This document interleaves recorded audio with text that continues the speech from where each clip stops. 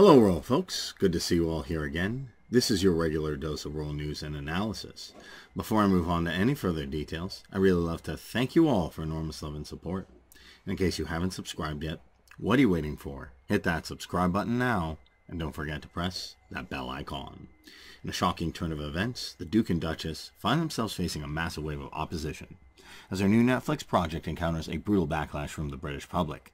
Recent polls indicate that an overwhelming majority of Britons have no intention of watching the film, leading to a resounding rejection that has ignited a fierce protest movement.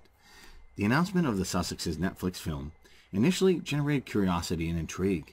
Many wondered how the royal couple would use their new platform to create meaningful and captivating content.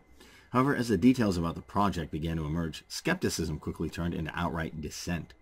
According to recent surveys, a staggering majority of Britons have expressed their unwillingness to engage with the Sussexes Netflix venture. This remarkable level of disinterest sent shockwaves through the entertainment industry, signaling a widespread of rejection of the couple's post-royal ambitions. The reasons behind the brutal backlash are multifaceted. Firstly, there exists a growing sentiment among British public that the Sussexes are capitalizing on the royal connections, without contributing substantively to society.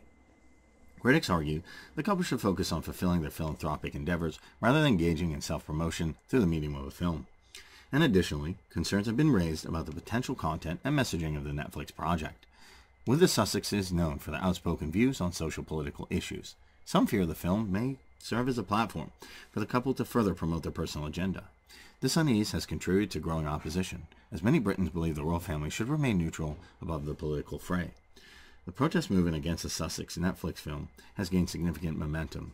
Online petitions have garnered thousands of signatures with people expressing their displeasure and vowing boycott the project.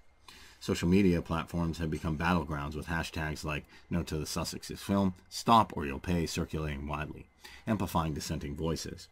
And critics argue that the couple's decision to align themselves with Netflix, a global entertainment giant, further highlights the stark contrast between their self-proclaimed values and their actions.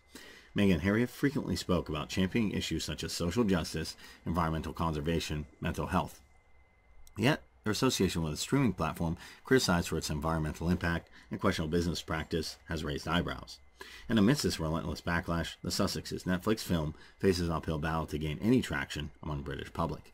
The overwhelming rejection by Britain sends a clear message. Their post-royal endeavors will be met with scrutiny and skepticism. While the Duke and Duchess may have anticipated some criticism and controversy, the scale of intensity of backlash have caught them off guard. It serves as a reminder that public perception, support are not guaranteed, even for figures with royal connections. And as for the Sussexes Netflix project, it faces the most formidable adversary.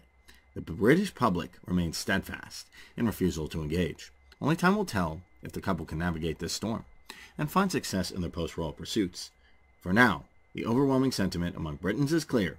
They will not be paying to watch the Sussex Netflix film. What do you think about this news? Do you think the Sussexes will succeed to publish their hideous film? This time, as Britons warned Netflix beforehand? Write it in the comment section below. Let me know what you think. Until then, I guess we'll just have to wait and see if things turn out to be something after all. Also, if you never want to miss any of my sizzling royal updates like this, subscribe and press that bell icon. It's as simple as that. So until next time, hasta la vista.